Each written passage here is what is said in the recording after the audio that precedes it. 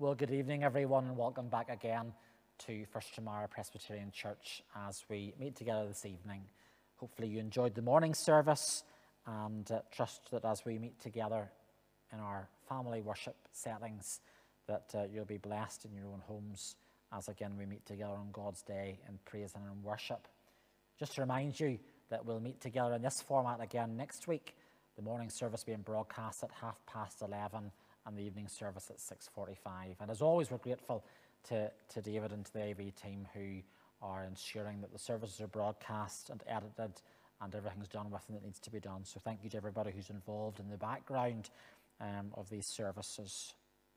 Just uh, with regard to the announcements, um, I'll reiterate just two. The first is that don't forget the prayer meeting, which will take place now this evening um, at 9 o'clock. Um, we had one on Friday night and one on Saturday night. And the final one is tonight as we respond just to the moderator of the General Assembly's call to prayer for the weekend as we petition the Lord um, and pray to Him during this time of being out of the buildings. And secondly, just to say that um, from tomorrow, the Advent 123s will be going on to Facebook and uh, do watch them, enjoy, um, enjoy them, and uh, encourage each other. And uh, if you still haven't returned your 123, um, please send them through so we can edit them. It takes a wee bit of editing to get them all done, especially for the singers and the music ones. We need to put words and stuff onto them, so um, that will be great. Let's just uh, come to God in praise. Um, this is the season of Advent, a season of expectancy. Uh, this morning we read from Micah chapter 5 and the expectancy that it is as we're waiting and looking forward to the coming of the Messiah. O come, O come, Emmanuel. O come, O come, God with us, the one who will become the child in the manger. And we're going to echo that just now as we open in praise.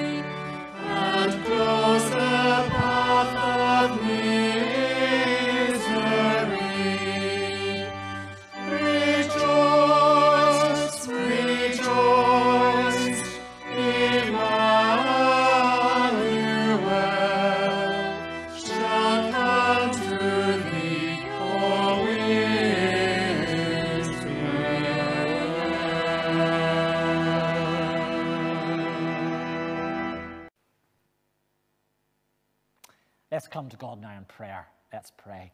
Father, we thank you for these ancient words, not only ancient words, but ancient music that has been used, Lord, throughout centuries to sing about the coming of Emmanuel. Oh, come, oh, come, Emmanuel, and ransom captive Israel that mourns in lowly exile here. Lord, how we wait for the Son of God to appear. And Lord, when we look at Isaiah 9, that portion that we studied this morning and that we'll study more in depthly this evening, we see that Israel was about to be taken captive by Assyria. Isaiah 8 tells us that they were about to be thrust into deep, thick darkness. They were captives. And yet, promise of the Messiah kept them going.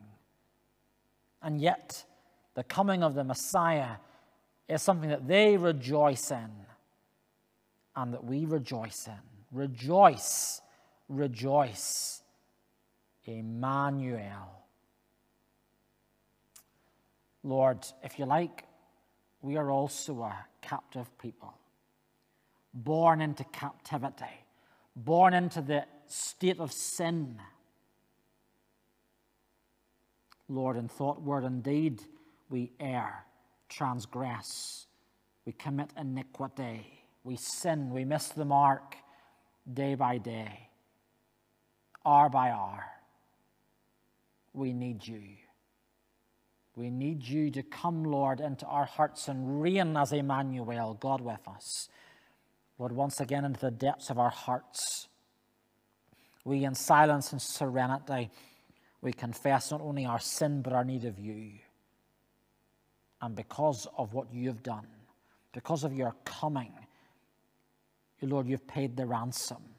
You've set us free. The bonds, the shackles that shackled us to Adam now bind us to Christ.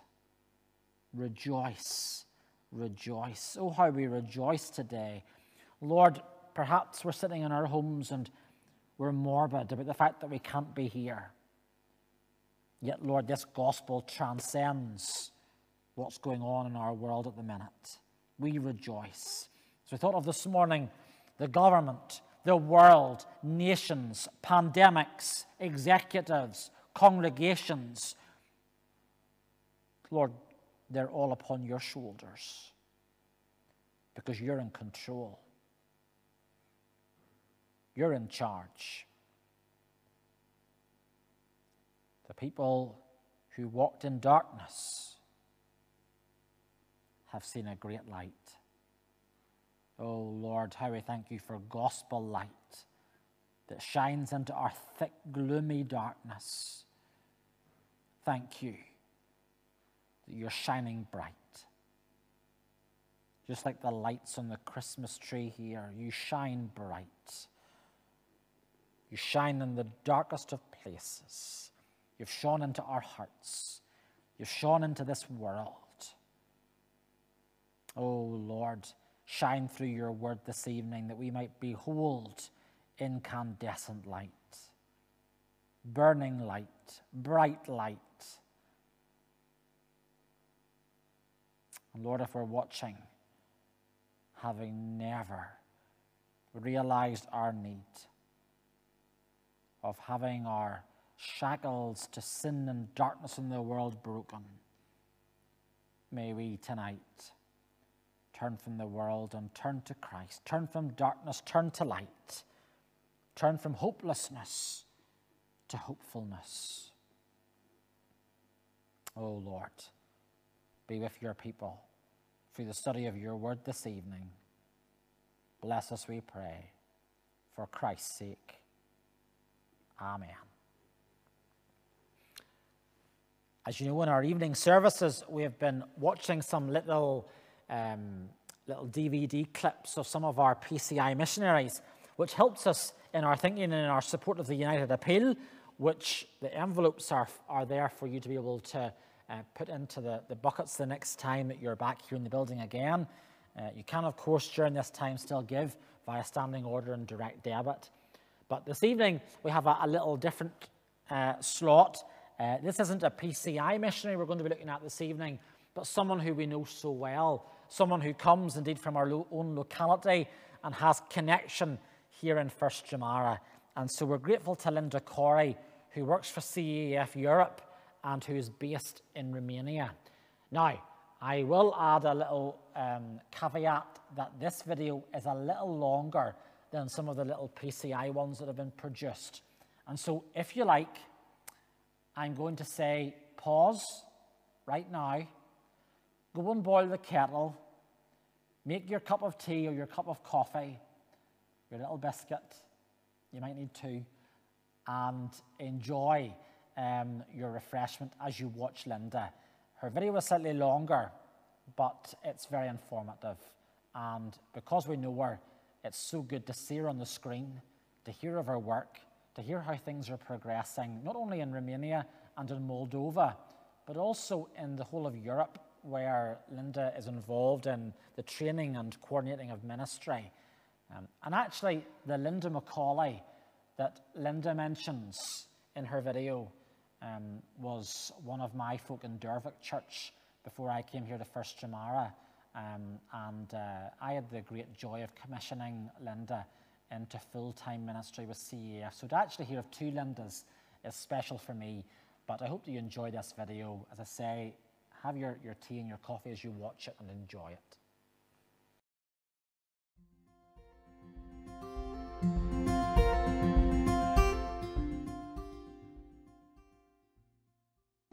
Hello, everyone, and greetings from Sibiu, Romania, where I am at the moment. It would be so nice to be with you all, uh, but unfortunately, the world we, we live in doesn't allow us to, to be together uh, in person. But thankfully, technology does, at least in this way. And uh, so it's great to be able to connect with you and to be able to give you a little update uh, on the Ministry of Child Evangelism Fellowship in Europe, and in particular the training ministries of the Education Department, uh, which is uh, the part of the ministry I am particularly uh, involved in. I want to begin by sharing a story with you. I want to take you with me to Bulgaria and uh, I want to introduce you to this young man. His name is Andrei. Andrei uh, was uh, born into a little village in Bulgaria.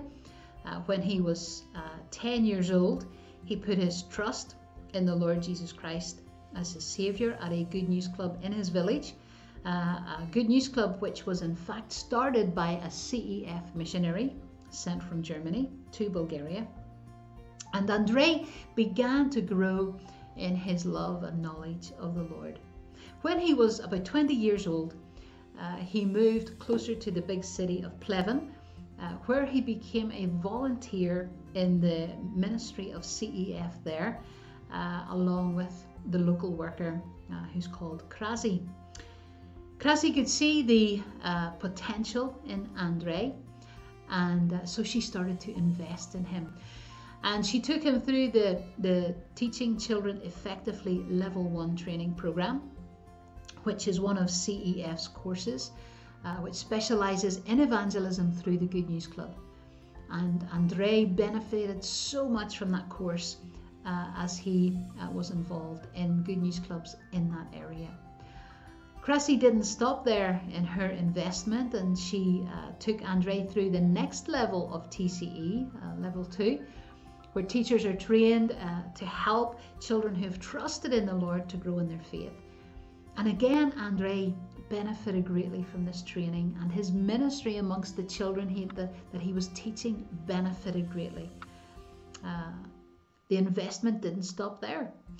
Uh, Andre then took the Junior Youth Challenge training course as he started to work with teens in the area. Krasi uh, continued to encourage Andre in his ministry amongst the children and the next step in that investment brought him here to Sibiu, Romania. He came here in the summer of 2017 uh, to take the three month children's ministry leadership course. This was when I had the opportunity to meet Andre, and I had the joy of investing just a little bit in his life um, as he prepared to go back to Bulgaria and to continue his ministry amongst the children there. Do you know what Andre is doing today? Well, he is a full time CEF worker serving the Lord in Bulgaria, teaching in 13 good news clubs every week. Uh, he's teaching in a local school, uh, religious education. He's uh, teaching in, a, in, an orphanage. He works amongst Roma children. Uh, he's teaching his own Junior Youth Challenge Club uh, every two weeks. Amazing. Amazing to think uh, what God does uh, when He saves a life and then others invest in that life and uh, help uh, that person to grow and to develop in their love and knowledge of the Lord and in ministry. That's what happened to Andre. I could never reach the children he is reaching.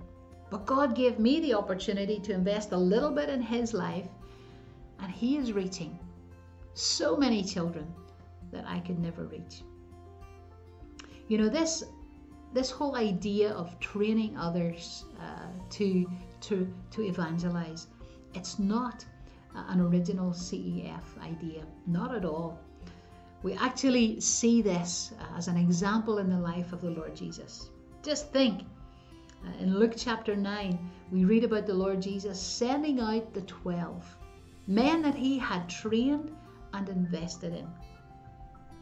Later in Luke chapter 10, uh, we see the Lord Jesus doing the same thing, but this time with 72 disciples that he sends out to evangelize. The Lord Jesus gave us a great example, a great example of um, the incredible potential uh, that exists when we invest in the lives of others to go out to reach and to teach and to take the gospel message. I really praise God for the opportunity of being involved in this training ministry that CEF uh, has uh, implemented right from the beginning of the mission organization. And uh, I have enjoyed all the years I've worked and served in CEF to be involved in training, and especially in these last three years when my ministry has specifically been in uh, the training ministry. I have enjoyed so much uh, being part of that work and working together with the European educational team as we uh, provide uh, tools and training courses for our CEF workers and teams around Europe to be able to use as they invest uh, in others to take the gospel uh, to children a lot of, of my time uh, over the last number of years, and uh, especially in the last number of months, uh, has been working on those existing training courses that exist, like the Children's Ministry Leadership Course, our TCE training program, summer training programs, preschool training programs, junior youth challenge programs, instructor level development programs, which are special training courses for our full time workers to help them to be able to teach the TCE programs. There are so many different training programs that have been developed down through the years. And uh, to be able to, to work with the team on renewing those, updating those, refreshing them, uh, keeping them relevant, uh, and to produce new training uh, tools for our workers that they can use as they seek to, to, to train, whether it's churches in, in city urban areas with the City Kids seminars or churches through the Teach Others Also seminars, whatever the, the situation, that our workers have available these tools to be able to, to use them, keeping them relevant, maintaining them, uh, updating them. And a lot of my time is spent on doing those kinds of tasks, but also teaching. And uh, that's it's, it's a great um, uh, part of the work to be in the classroom or to be online as it has been recently and to be able to invest and train uh, others in the ministry of child evangelism. And I want to share just a little bit with you about some of those training uh, courses uh, pre COVID uh, and even post COVID. Uh, and to just to, I hope to encourage you as you see what God is doing uh, through this ministry of investing and teaching in others. Last summer, uh, I had the joy of spending most of my time with the group that you see in this photograph. Uh, they came to take the Children's Ministry Leadership course here in Sibiu, and uh, they uh, represent eight different countries uh, that uh, that they came from. And I had the joy of spending most of my summer with uh, this group of young people. Many of them, praise God, have come in to CEF ministry full time. In fact, over half of them that you see in that photograph. Now, I won't tell you all their stories, there's no time, but let me tell you uh, just about uh, one little couple uh, who took that training Samir and Melanie. They come from Bosnia Herzegovina, they come from a Muslim background. Uh, God saved them and brought them to the CMLC. And during their time here, uh, God confirmed his calling in their lives. They're now serving CEF full time in Bosnia, and uh, I could never reach children in Bosnia, at least not in that language. Um, I could never go to the places that Samir and Melanie are going to, but God is using them. He's using them in a little place called uh, Kakanj. They have a good news club there. 20 children come every week. And just recently they shared how they had the joy of leading four of those children to faith in the Lord Jesus Christ. Last year, they organised different evangelistic sporting events. At one of those events, they had 50 teenagers who attended. They took 20 teenagers to winter camp. Uh, they started a new Good News Club in a little place called Zenica. Last Christmas, they were able to reach over 400 children through Christmas Club ministry. Amazing. I could never reach those children. What a joy to be part, a little part of this investing uh, process, teaching, training, uh, so that others can go out and to reach uh, children with the gospel. Last October, I had the, the privilege of being part of a teaching team that taught this group uh, of students. Now, most of them that you see in the photograph, they're all full time CEF workers. And the course they attended here in Sibiu was the, the two week instructor level training. Uh, some of them were taking the instructor level training to be able to teach TCE level 1, and the others for TCE level 2. But again, imagine the potential in this group, representing 13 different countries around Europe, coming together for those two weeks. What a joy to have a little bit of of, of an opportunity to invest in their lives and then they go back into their countries. Not only are they reaching children and evangelizing children directly, but they are training others to do the same thing, multiplying themselves so that many more children uh, are able to hear the gospel. Praise God for this uh, opportunity. Linda McCauley was one of the, the workers who came to take this course. Maybe some of you know her. Uh, she's the full time CEF worker in uh, County Mayo. Linda uh, told us about uh, one um, student who took a TCE level 1 course in her area, a lady called Mirka. As a result, she started a, uh, a ministry in her church for seasonal good news, uh, seasonal clubs at Christmas or Easter. Uh, those seasonal clubs, clubs developed into um, weekly, a weekly good news club. And uh, she shared with Linda not so long ago just how much she enjoys uh, preparing for those clubs and how much she is being blessed as she prepares her Bible lesson and the whole program week by week. And she just can't wait until uh, TCE level two. Amazing, investing in others. And as a result, uh, many more teachers are trained, child evangelists are prepared, and children are reached with the gospel.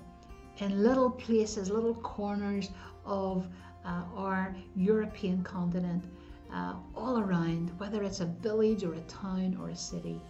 What a joy to be part of that uh, process. You know, some people have asked us, what happened when COVID hit to the training ministries? Did you stop? uh, or what are you doing or, or, what were you able to do? Well, as you can imagine, uh, everything went online. We were actually in the middle of an instructor course here in Sibiu uh, when COVID hit, and uh, we were watching the first week of that train, training course, the news every day, and we began to hear of borders closing down. And then on the middle Saturday, we made the decision that we would um, stop the training and send everyone home because we had students not just from Romania but also from Moldova, Bosnia, and Serbia.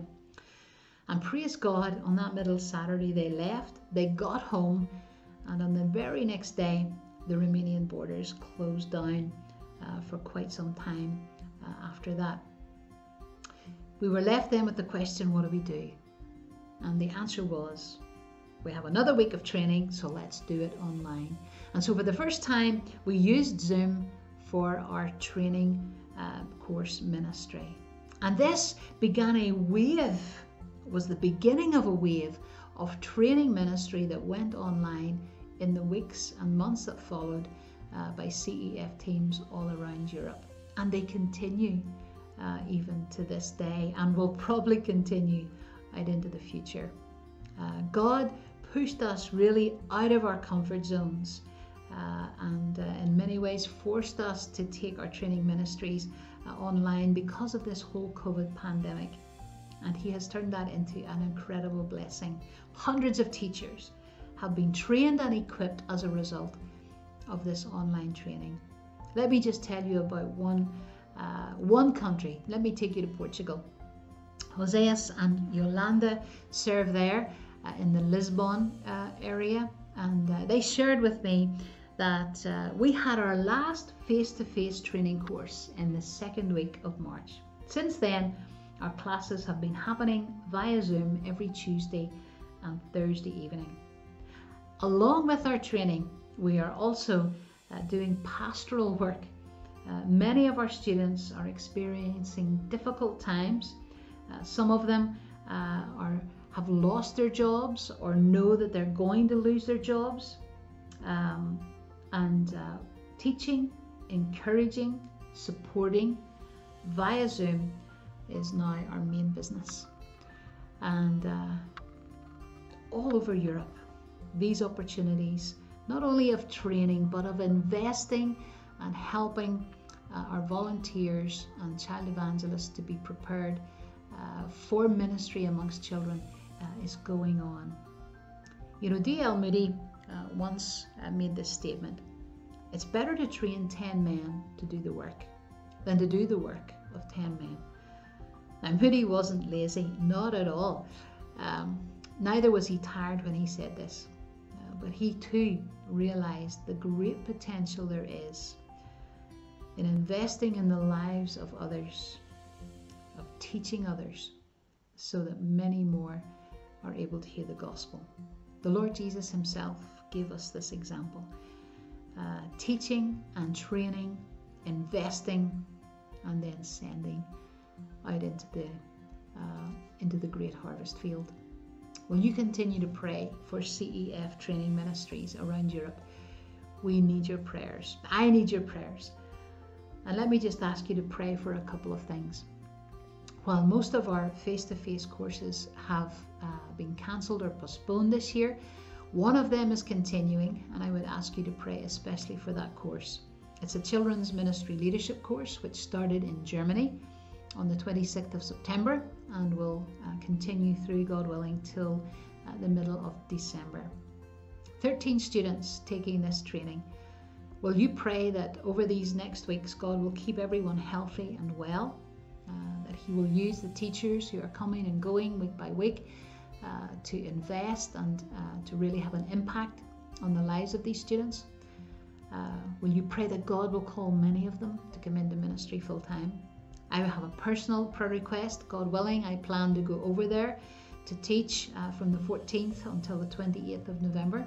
I've bought plane tickets. I'm planning to go, uh, and I'm praying it's God's will that I go but will you just pray for all of those, uh, just for the needs of, of getting there, and if it's God's will to get there, and that I can really be uh, a help and blessing for that course as I seek to invest in those young lives as well.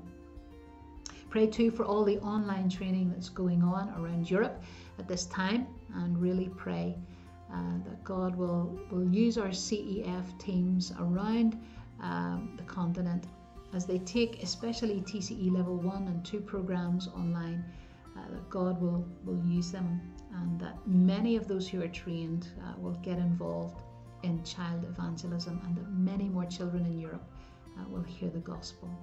And pray too uh, for uh, this, the educational team in Europe. Uh, I also value your prayers as we work on various projects at the moment to be able to update our training materials, taking some of them online. Uh, pray that God will give us the wisdom, give us the right people to be able to uh, to do this well, uh, and uh, that we can really continue to provide relevant and helpful training uh, courses and tools for our teams uh, right out across Europe. Thank you so much for the opportunity to share. it's so good to be able to do that with you, and I hope you are encouraged and that you will continue uh, to be encouraged as you pray and uh, are part of this big ministry of bringing the gospel uh, to Europe's children. So thank you so much and God bless. Wasn't that good to hear and to see what Linda's up to in Romania? Let's now come to God as we pray for Linda and for her work. Lord, we thank you for the many years that Linda has been involved in ministry in Eastern Europe. Lord, we know that even some people from this congregation have travelled and been involved in outreach work in Moldova with Linda and with her Eastern European team. Lord, we pray for her. Lord, we know that as we watch the one, two, three videos, that we might see a little appearance of Linda. And we know that this is the first Christmas that she won't be able to come home and spend perhaps with her family. Lord, be with her. Lord, in the emptiness, perhaps again in the loneliness that we thought of this morning, undertake for her and bless her. Bless her mum, Hetty. Bless her Auntie Anne. Those who we know even in our own congregation who are related to Linda, who will miss her this Christmas time. Lord, we pray for them. We know, Lord, that in the wider family circle, that there has been death since the passing of Mrs. Bell. And so, Lord, we pray for the whole family at this time. Bless them, we pray you, Lord. But Lord, be with Linda. Thank you that she's been able to progress and to continue with her work. Thank you, Lord, for the people who are being trained up, for the people who are uh, attending courses, for the children who, through online co- uh, good news clubs, are still being able to hear the gospel message. We pray, Lord, for the Christmas initiatives that CEF will run, not only in Ireland, but across Eastern and Western Europe. We thank you, Lord, for the, the course that Linda and Linda were able to be involved in. Thank you, Lord, for both of those ladies and for their tenacity and for their fortitude in the gospel. Thank you, Lord, for the years of service that Linda has given to CEF and to the spread of the gospel. And we pray, O oh God, that many children and families would hear of the transforming message and power of the gospel and would trust in you. Lord, be with Linda. Lord, help us as a congregation and how we might bless her and encourage her and support her if we might give or pray like now or even go. Lord, there might be people in the congregation who you are speaking to about going and serving you. Lord, how we pray you'd raise up faithful missionaries who would go. Yes, Lord. People who will go long term, short term, during the summer. For men, Lord, into the gospel ministry. Lord, how we pray earnestly. There might be some, Lord, even listening in tonight. And they haven't been able to go on their regular times of summer service they haven't been able to go, perhaps, with CEF or Scripture Union. They haven't been able to go on the CISM team, or they haven't been able to go to New Horizon, or they haven't been able to go to Northern Ireland or to the Republic of Ireland. They haven't been able to go to Donegal or to Galway or to Cork. They haven't been able to go to the North Coast. They haven't been able to go to Eastern Europe, to Romania, to Hungary, to the Czech Republic. Lord, we know that even um, Matthew was supposed to go this week with Ambassadors Football to the city of Prague. And Lord, we're sorry that that couldn't happen.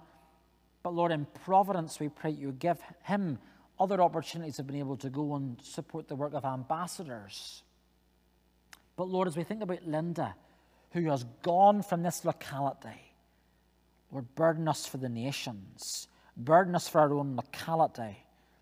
And that doesn't necessarily mean that we have to go full time the way Linda has. It might mean that we give up our holidays or our summer times, some of our wages. But Lord, bless Linda. May she know, Lord, of our thoughts and our prayers. Comfort her this Christmas. Bless all of her initiatives. Keep her close to you, Lord. Keep her walk with you in tune. And Lord, bless the work of her hands and where her feet take her in such a way, Lord, that she would reap and see a fruit for her faithful labour. May she know, Lord, of our prayers and of our encouragement. Lord, bless even the country of Romania and the country of Moldova where she works. Lord, bless the city of Sibiu where she lives. Even, Lord, might she see a community there turn from darkness into most glorious light. Be with her undertake for her, we pray, for Jesus' sake. Amen. Well, this morning we read from Isaiah chapter 9. We're going to read together the same seven verses this evening, but we're going to be honing in on just two words wonderful counselor. But let's set it into its full context. This is Isaiah chapter 9 reading together from verse 1. And as always, this is infallible and holy truth. But there will be no gloom for her who was in anguish. In the former time, he brought into contempt the land of Zebulun and the land of Naphtali. But in the latter time, he has made glorious the way of the sea, the land beyond the Jordan, Galilee of the nations. The people who walked in darkness have seen a great light. Those who dwelt in a land of deep darkness, on them has light shone. You've multiplied the nation, you've increased its joy. They rejoice before you as with joy at the harvest, as they are glad when they divide the spoil. For the yoke of his burden, the staff of his shoulder, the rod of his oppressor, you've broken us on the day of Midian. Every boot of the trampling warrior in battle tumult, and every garment rolled in blood will be burned as fuel for the fire. For to us a child is born, to us a son is given, and the government shall be upon his shoulder, and his name shall be called Wonderful Counselor, Mighty God, Everlasting Father, Prince of Peace. Of the increase of his government and of peace, there will be no end on the throne of David and over his kingdom to establish it and to uphold it with justice and with righteousness from this time forth and forevermore. The zeal of the Lord of hosts will do this. Amen.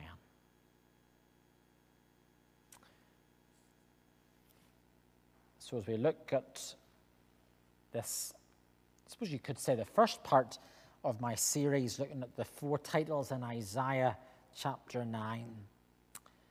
I wonder um, if you've ever had a, a child or a baby, you've wondered what should you call this baby? Remember um, knowing a family and the baby was called baby for about seven or eight weeks before the family decided on a name for baby. Um, but um, I did a, a, little bit of genealogy recently, and um, the interesting thing is this that there are some names in your family that keep coming up, that keep cropping up. Um, on my father's side, on the Moore side, we, we're a family of boys. I have a brother. Uh, my father only has one brother. There's lots of boys. But I have a great, great, great grandmother whose name was Cecilia. And she had a daughter called Cecilia. And my great grandfather, so his sister was called Cecilia, but I had, my great grandfather had a niece also called Cecilia, and my grandfather had a, a sister also called Cecilia. Um, and actually, I have only one girl cousin on that side of the family. And uh, I don't know, Lisa, if you're watching tonight. Uh, you might be and you might not be. But you're the first girl in our family in about 150 years to not have the name Cecilia. Um, and on my mother's side of the family, it's similar, but with the name Francis for boys. Um, now, most of them got either Frank or Frankie, and uh, Lorna has told me that we will never have a Frank or a Frankie or a Francis. But there are those names in families that keep coming up. Um, another interesting fact is that uh, surnames quite often come up. So I am called Scott because my mother's maiden name was Scott. Um, and I think I've told you this before. I am Scott Moore, but I have a great uncle called Moore Scott. And so um, in First Antrim, I spent a summer assistantship there, and he belongs to that congregation. And I remember people would have said to me, now remind me, is it Scott Moore or Moore Scott? But it's interesting in that my the four names in our family, so that my my name, my mother's maiden name, and both my granny's maiden names, well, their names are Moore, Stewart, Graham, and Scott. And those are names that can all be first names as well. Um, so lots of names to ponder. And Scripture records many names for Christ. One person, but many names. And Isaiah says, His name shall be Wonderful Counselor, Mighty God, Everlasting Father, Prince of Peace. This is one of His names. And it's the same for us, isn't it? Um, when you think about it, as I stand here this evening as Scott Moore, I am a son a brother, a husband, in fact, until a few months ago, a grandson. As I stand here on the screen, I am pastor, minister, in the Kirk Session sense, moderator. I have differing roles and titles. In the BB, I'm chaplain. And maybe you're the same. You have differing roles in church, job, society, community. And all of those different jobs or roles or titles or designations, they all tell us something different. And if you like, it's similar here concerning Christ. These titles reveal, they reveal more of who he is what he is, what he is coming to do, what he has done. So, the first that we see tonight, wonderful counselor. Um, and I said to you this morning that if you um, go home and listen to Handel's Messiah, you'll hear wonderful counselor, mighty God, everlasting Father, Prince of Peace. And if you listen to Handel's oratorio, it's wonderful. Counselor, mighty God, everlasting Father, Prince of Peace, and almost makes the distinction that he is wonderful, space, counselor, space, mighty God, but actually, in the same way he is mighty God, in the same way he is everlasting Father, he is wonderful counselor. It's all one. He is wonderful counselor. And uh, I'm just going to leave this here, just to, as we're thinking about counselling. Um, please don't forget the counselling service, which uh, is being offered through the Connect Centre at this time. Should you be anxious, stressed, depressed, or in a low mood, there are people that you can talk to. And there is a counsellor through the Connect Centre that you're able to speak to during this time. And this will come up um, a little bit as well. This is Providence because these were put through my door just this evening. And uh, as we think about counselling, there is one who we can turn to who is the wonderful counselor. So, you can avail of a counseling facility. You can, if you're stressed or anxious, go and speak to someone who can counsel. And what does that person do? Well, you hope they will encourage you, they will strengthen you, you hope they will be wise, people of wisdom. These are people who are walking in darkness. And Isaiah says there's a wonderful counselor. And although the evenings are dark now with the, uh, with the clocks having changed as we approach the, the winter solstice, there's also darkness, isn't there, with regard to isolation and all that's going on in the, the world at the minute. There's anxiety, there's stress, there's low mood, there's bad mood, there's people that are getting upset with one another. We take it out on one another. And actually, that is the situation here. There's darkness. Chapter 8 is speaking of foreboding darkness. In fact, verse 19 of chapter 8 and when they say to you, inquire of the mediums and the necromancers who chirp and mutter. Should not a people inquire of their God? Should they inquire of the dead on behalf of the living? People were looking for help in the wrong places. That's what we see in Isaiah 8. There's darkness. And actually, people look to the darkness for help. They actually look into the darkness and they look into the emptiness for help, and all they find is more darkness and more emptiness. And there are forms of darkness and emptiness that the world is looking to and looking towards at this time, just like the people of Isaiah 8, as they are waiting for the Assyrian invasion. It says here they inquired of mediums necromancers, those who chirp and mutter, the Bible here says. They inquire of idols, they inquire of the dead. To the teaching and to the testimony, if they will not speak according to this word, it is because they have no dawn. In other words, this is darkness that will never bring forth light. And we can be people who search for light. We can search for answers. We can look into the darkness for light, and we look in the wrong place. We need a counselor. In Isaiah 8, in a time of thick darkness, Isaiah says, they needed a wonderful counselor. In the darkness and in the gloom of 2020, we also need a wonderful counselor.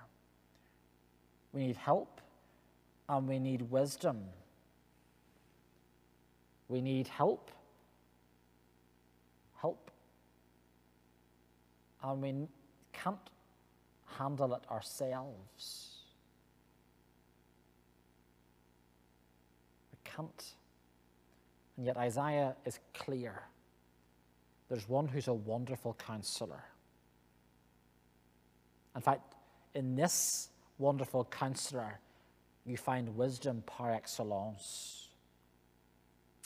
If you were to go into any of the royal courts or into any of the presidential palaces or into any of the, the chambers of the prime ministers, what are they surrounded by? When you look at Boris Johnson appearing on TV, who's he surrounded by? Advisors counselors, chief medical officers, scientists, advisors, counselors. But in Isaiah 9, we see the leader, the king, that we thought of this morning, the one who's in control, the king is also the counselor. This king needs no counselor. This king needs no corridor of advisor or advisory staff. He needs no chief medical officer because he knows everything about everything. This is the wonderful counselor. The book of Romans, Romans chapter 11 uh, and verse 34, says this of this wonderful counselor who knows everything. Romans 11, verse 34 For who has known the mind of the Lord, or who has been his counselor? No one.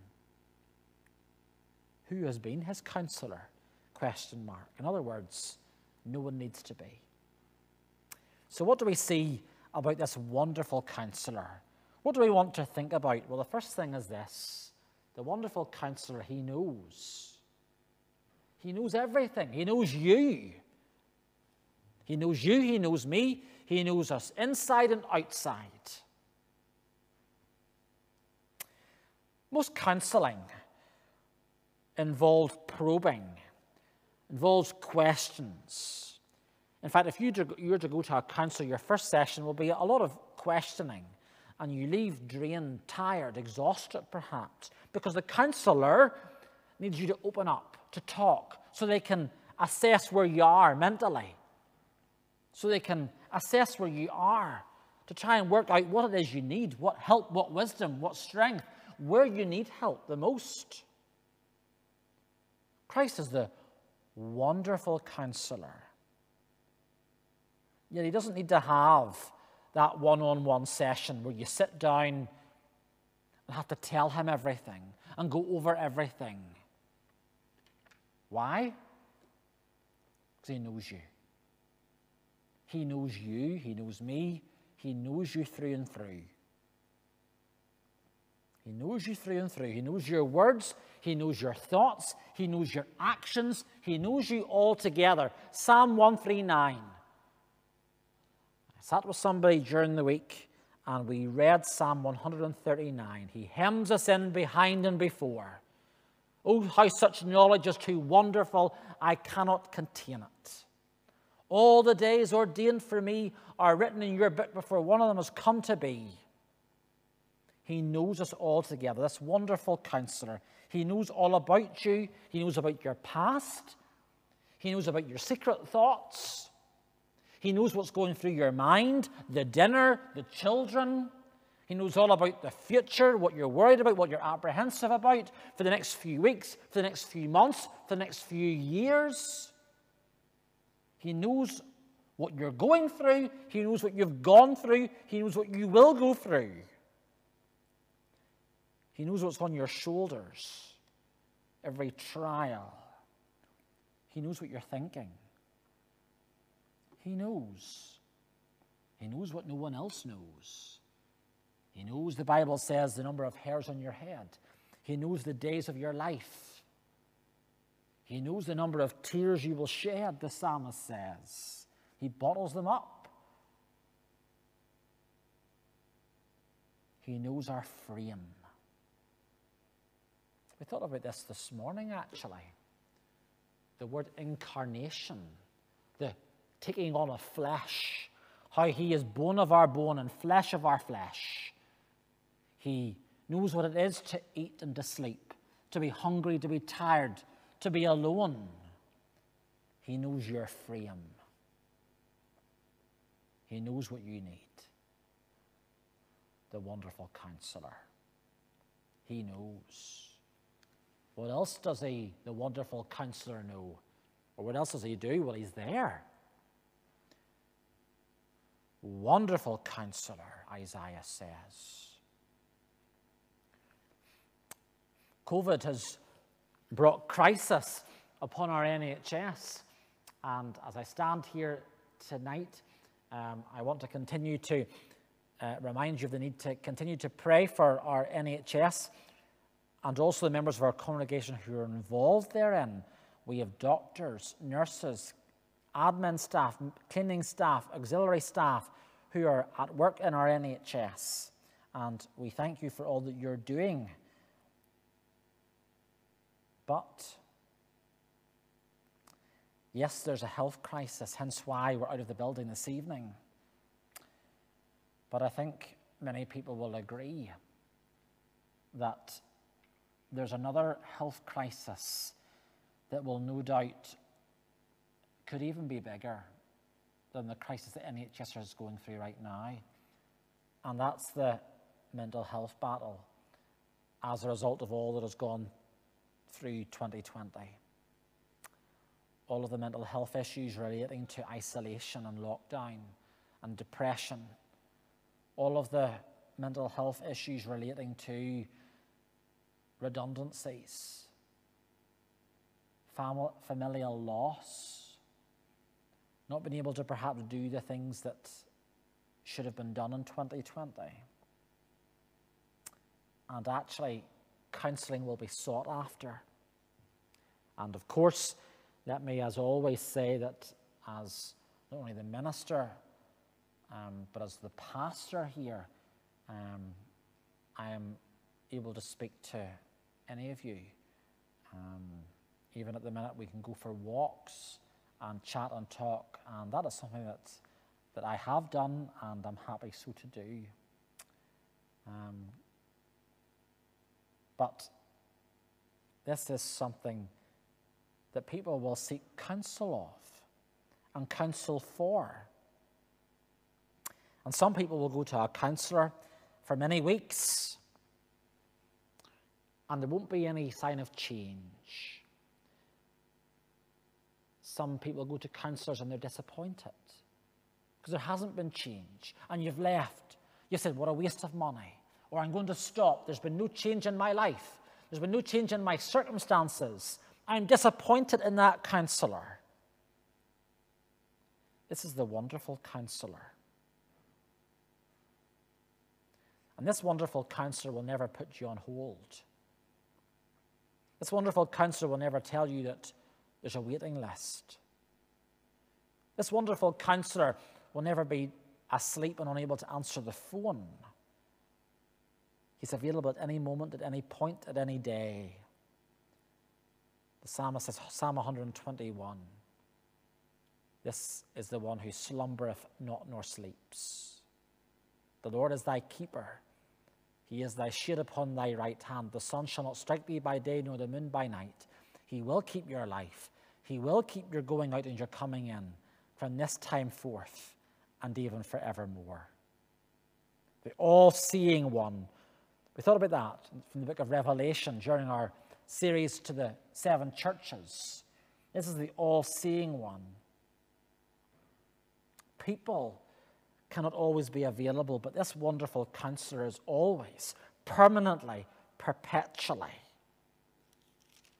Who is this wonderful counselor? Well, even just a couple of chapters before chapter 9, in Isaiah 7, Isaiah describes this as Emmanuel. God with us, yes. He's available. God with us always. Actually, often the problem that we have is that we're unwilling to share with Him. We're unwilling to take our burdens and lay them with Him.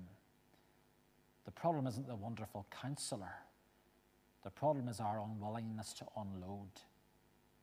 We sometimes take our burdens and we take them to Calvary we take them to the foot of the cross, we take them to Jesus, and then we pick them up again and we walk away. Sometimes we don't even do that. He is there. He is available always. He's there. What else about this wonderful counselor? He speaks. He speaks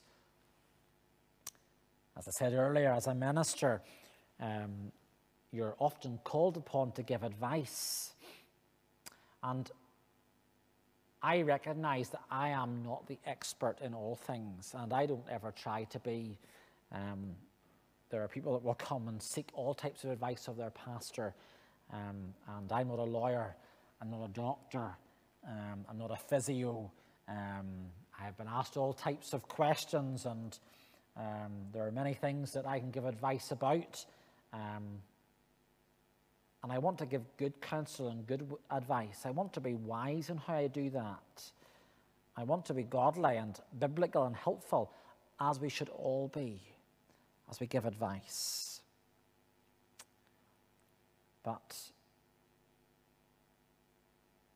sometimes the time comes when perhaps you do have to go and see a counselor. And there is nothing wrong with that. If you're somebody here and you do suffer with mental health issues, like I said before, there's a counsellor available through the Connect Centre. You can seek counselling through your through your doctor. Um, um, as they, they seek to, to understand what's wrong. Um, sometimes I get it wrong. But I will say this if you're someone that needs counsel as a Christian, make sure you seek a Christian counselor. Make sure you seek someone who is a Christian counselor. That's necessary because only a Christian counselor can get what should be 100% in your life, and that's Christ. And like I said, sometimes we get it wrong. Sometimes I get it wrong. Sometimes a professional gets it wrong. But look at the wonderful counselor. Look at the wonderful counselor. He always gets it right. Jeremiah chapter 32 and verse 17 uh, says this. Uh, this is the, the text for a children's song uh, that we used to sing at home. Um, but it says this Ah, Lord God, it is you who have made the heavens and the earth by your great power and by your outstretched arm. Nothing is too hard for you. Nothing, nothing. Great in counsel mighty indeed. Great in counsel, mighty indeed, because nothing, nothing, absolutely nothing, nothing is impossible for thee. Great in counsel, mighty indeed. He's the wonderful counselor. He has wisdom that none of us have. He knows exactly what we need and he knows when we need it. When he came, he knew that we needed saving. He knew we needed salvation. That's what he provides for us in himself. he came to give us what we need when we needed it. He shows us what we need and he provides the answer. He provides himself. The wonderful counselor is at hand. Don't reject him great in counsel, mighty indeed. The wonderful counselor, he speaks. He speaks wisdom that none of us can speak. And lastly, the wonderful counselor, he's the perfect counselor. The perfect counselor. Like I said, what happens if after months of counsel, nothing has changed? You stop going. You stop paying. You stop wasting your time. And perhaps you look for someone else who can help. We need to see change. We need someone who can help. Look at Christ, the wonderful counselor. When you trust in him, the wonderful counselor, you have all that he offers rest, life, the substitute, his blood, experience. When the little tracks or the little cards for the counseling service came through my door, the person who put it through also put through a magazine. And when I opened it, were these words The Lord is my shepherd, I have all that I need. He lets me rest in green pastures. He leads me beside peaceful streams. He renews my strength. He guides me along right paths, bringing honor to his name. Even when I walk through the darkest valley, I will not be afraid, for you are close beside me. Your rod and your staff protect and comfort me. You prepare a feast for me in the presence of my enemies. You honor me by anointing my head with oil. My cup overflows with blessings. Surely your goodness and unfailing love will pursue me all the days of my life, and I will live in the house of the Lord forever. In Psalm 23, we see provision, we see refreshment, we see rest, we see provision, we see blessing, we, we see going before, our shepherd in life, our shepherd in death, our shepherd in eternity.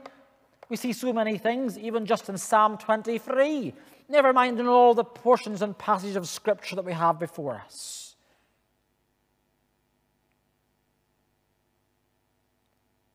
When you think of all that He offers, when you think of all that He has done, the transformations that take place in the Gospels, the tax collectors, the fishermen, the vagabonds, the thieves on the cross. When I look at myself and what He has done for me and how He has transformed me, how He has changed me, for many of you, the same. This is the wonderful counselor who is the perfect counselor. He knows all that we need, He gives us all that we need. He is all that we need. Someone who we can trust, someone who we can rest upon. Coming up to this Advent season, the wonderful counselor, is someone who we need. Someone during COVID 19, someone who we need. The wonderful counselor. Not just any counselor, but the one who we thought of this morning. The one who came the one who cares, the one who controls, is the wonderful counselor, the wonderful counselor who knows, the wonderful counselor who's there, the wonderful counselor who speaks, and the wonderful counselor who is the perfect counselor. Yeah, you can look to him. Let's pray. Father, thank you. You are the wonderful counselor. His name shall be called Wonderful Counselor. Oh, how we need that in our lives, in our homes, in our church, in our community. May we see you, Lord, the wonderful counselor. We see how you know. You know everything about us. You know our thoughts. You know more than even we know ourselves. That's why we can call you the wonderful counselor. You're there. Even when man cannot be there, you're always there. That's why you're the wonderful counselor that we can turn to at any point of day or night, during any catastrophe, or even on the hilltop of joy. You speak, or you speak softly and tenderly. You speak what we need to hear. You give the right advice at the right time. You grant salvation, saving, because that's what we need. Mighty in counsel, mighty indeed. You're speaking. That's why you're the wonderful counselor. And Lord, when we think about even the best counselor, even the best pastor, Lord, none compared to the perfect counselor who never gives the wrong advice who's always there, who grants rest, refreshment, life, salvation, experience, light in life, light in the darkness, light when we need it the most. Oh Lord, may we see our need of this wonderful counselor. Might we want to tell others about Him. Might we have faith, faith in this wonderful counselor. By faith, we see the hand of God, the counselor. Jesus, even here in Isaiah 9, 700 years before its fulfillment, the wonderful counselor. May we realize, Lord, may we realize that we need him. Amen. We close our closing praises by faith. We praise.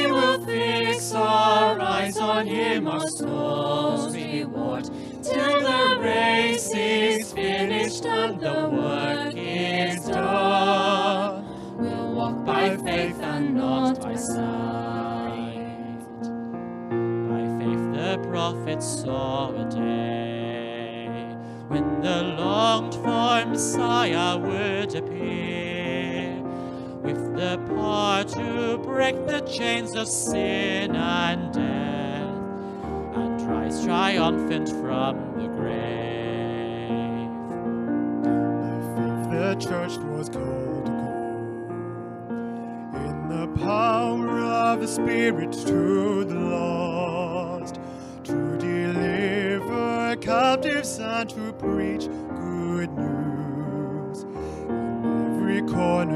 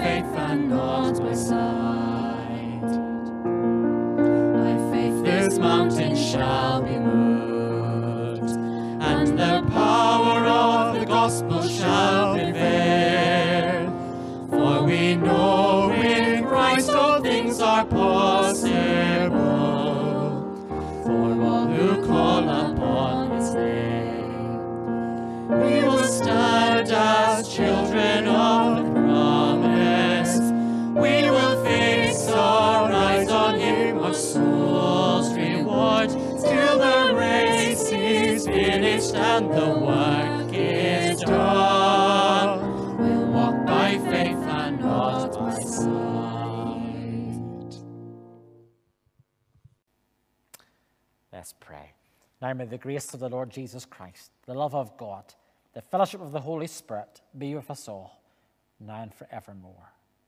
Amen. Everybody keep safe and uh, see you at nine o'clock for the, the Zoom prayer meeting.